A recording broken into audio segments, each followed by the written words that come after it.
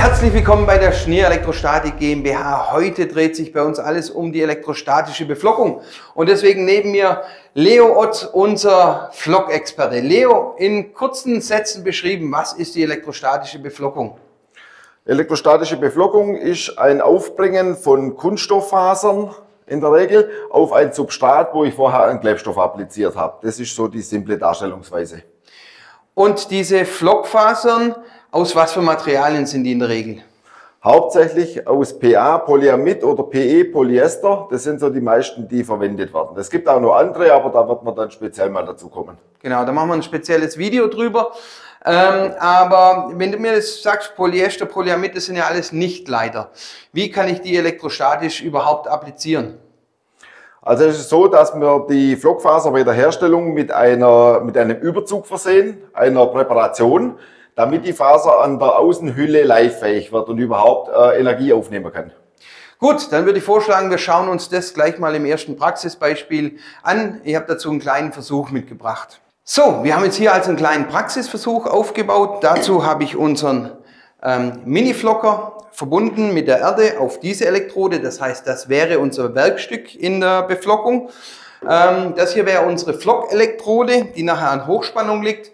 Und dann haben wir hier eine Flockfaser. Das wäre jetzt eine Flockfaser, bevor sie eine Präparation bekommt, nämlich eine Kunststoffkugel, die isolierend ist.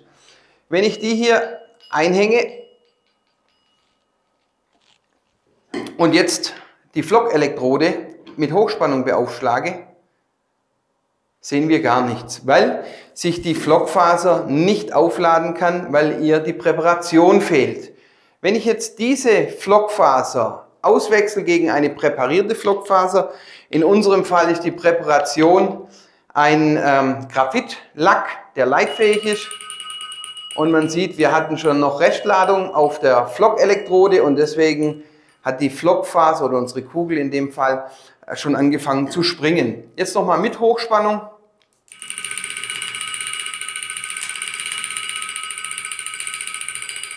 Sehen wir also wunderschön, wie die Flockphase im Feld hin und her springt. Warum tut sie das?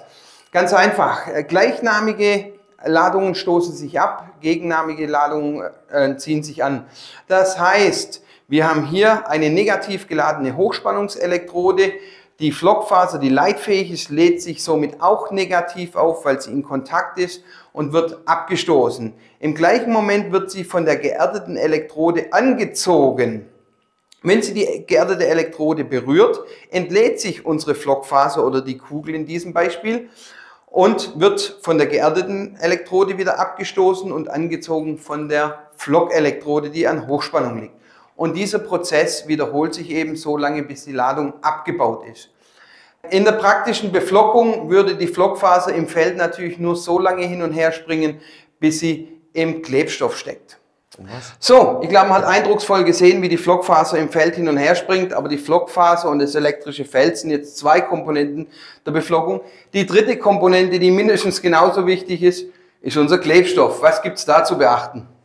Also beim Klebstoff ist es so, dass es verschiedene Systeme gibt und äh, wichtig ist, dass man auch die richtige Klebstoffauftragstärke hat. Da dazu gibt es eine generelle Faustformel, wo man sagt, ein Zehntel der Faserlänge sollte der, der getrocknete Klebstoff nachher sein, um die Faser sicher festhalten zu können. Das heißt, ich muss aber auch beachten, wenn ich den Klebstoff feucht auftrage, dann äh, schrumpft er noch beim Aushärten und ich muss entsprechend mehr im nassen Zustand auftragen, wahrscheinlich abhängig vom äh, Klebstoffsystem, richtig? Genau, da die verschiedenen Systeme verschiedene äh, Anteile an Feststoffen drin haben, ist es so, dass es natürlich beim Trockner zum differenzierenden Schwund kommt und man sagt normal beim wässrigen sind es ungefähr 50 Prozent, bei Lösemittelsystemen ist es weniger, da kann man auch schon im nassen Zustand weniger auftragen. Also generell bei einer Millimeterfaser gehen wir davon aus, 100 μ getrocknet, muss ich 200 μ auftragen. Gut, ich würde auch vorschlagen, zum Thema Klebstoff machen wir auch nochmal ein gesondertes Video. Dann würde ich sagen, an dieser Stelle ist wieder Praxis angesagt. Leo, hol dein Equipment und zeig uns mal, wie man richtig beflockt. Okay. Praktische Beflockung. Leo, was hast du mitgebracht? Ich sehe schon, du hast das neue ähm, Hobbyflocker Pro Set.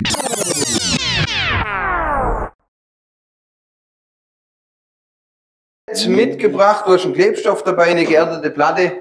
Erzähl mal. Also, ich habe den Mini Flocker Pro dabei Und das Ganze ist neu in dem Gerät, dass wir jetzt mit einem Lithium-Ionen-Akku arbeiten. Das heißt, wir sind kabelunabhängig und auch nicht normale Batterie, sondern wir haben einen aufladbarer, wieder aufladbarer Lithium-Ionen-Akku drin. Wir haben einen Applikator beim Set dabei, der Eigenheit hat, dass er keine Metallplatte als Elektrode innen drin hat, sondern der hat hier ein leitfähiges Harz, ist dadurch wesentlich besser zu reinigen bei Farbwechsel und desgleichen. Und wir haben im Set auch ein entsprechendes Sieb dabei, was dann in, später auch in verschiedenen äh, Lochgrößen verfügbar ist für verschiedene Arten oder Längen von Flock. Und des Weiteren ein Erdkabel. Genau. Genau, das ist ganz wichtig, das brauchen wir. Das Erdkabel kann man hier hinten stecken. Man kann auch jedes weiter beliebige Kabel hier direkt einklemmen. So, und äh, was auch noch im Set dabei ist, ist natürlich das Ladegerät für den Lithium-Ionen-Akku. So, der Applikator wird einfach aufgeschraubt. Das heißt, die zwei verschiedenen Größen an Applikatoren, die es gibt, kann man sehr schnell wechseln. Es wird einfach der Flock eingefüllt.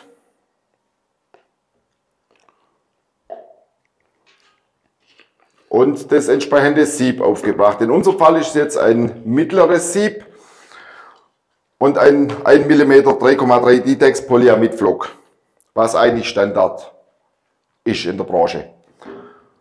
Gut, so. und wie ich sehe, du wirst den Klebstoff aufwalzen, richtig? Genau. Normalerweise ist es so, dass man den Klebstoff in verschiedene Arten auftragen kann.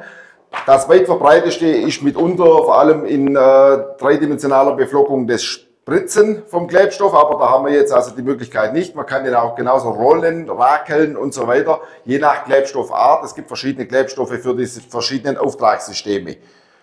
In dem Fall haben wir jetzt einen Lösemittelkleber den wir einfach aufrakeln oder aufrollen.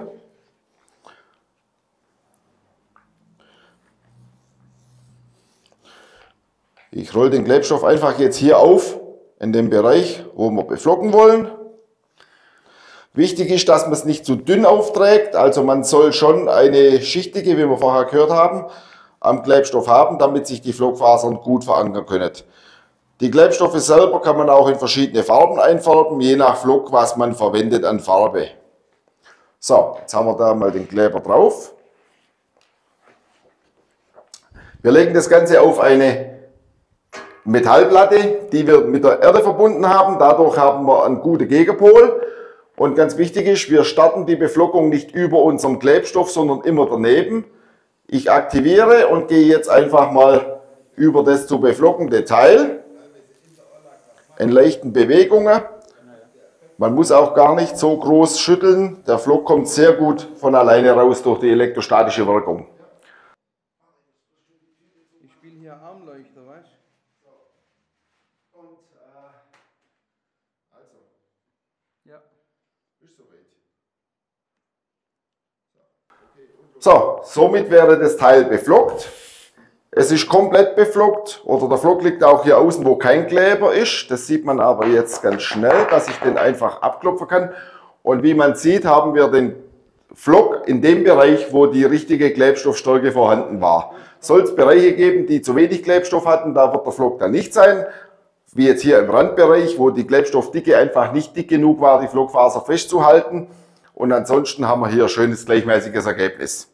Und das würde man jetzt trocknen lassen und dann am Ende nochmal abreinigen durch Bürsten, Saugen oder Ausblasen, richtig? Genau, üblicherweise wird das, so, das beflockte Teil äh, vorgereinigt. Das heißt, den Überschussflock, den wir haben, den versuchen wir vorher wegzubringen, damit man nicht in die Trocknungssysteme verschleppt.